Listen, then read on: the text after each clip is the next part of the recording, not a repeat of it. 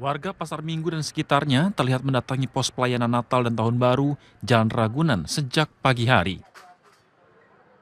Kedatangan mereka ini untuk mengikuti tes cepat antibodi yang digelar Polsek Pasar Minggu.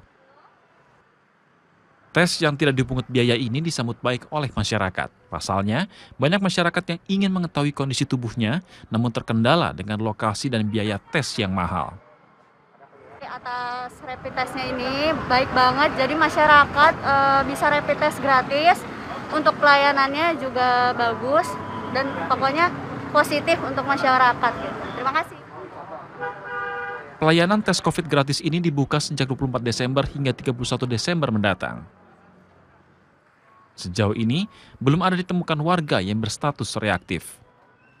Wah, pelaksanaan rapid test yang dilaksanakan oleh Pospam Pasar Minggu dalam rangka operasi lilin tahun 2020. Tidak hanya untuk mengetahui kondisi kesehatan, warga yang mengikuti uji cepat gratis ini juga bisa meminta surat keterangan rapid test yang dapat digunakan untuk berpergian. Dari Jakarta, Ajat Moko, RTV.